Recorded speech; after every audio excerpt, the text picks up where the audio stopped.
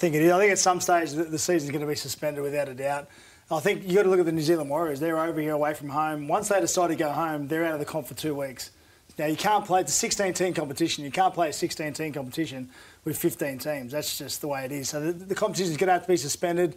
The trouble with suspending if NRL players is that you can't just have an NRL player out of action for two or three weeks and then expect them to walk back in and start playing and doing what they're doing this weekend. I mean, the, the pre-season goes for three or four months. Now that's a long time to get prepared for a game of footy. So to go and have four weeks off, three or four weeks off, and expect them to come back and play at the level they're playing at, it's too dangerous for the players. You have shoulder, knee issues.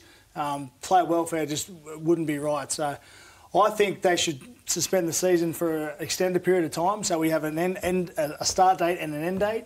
Play every team once.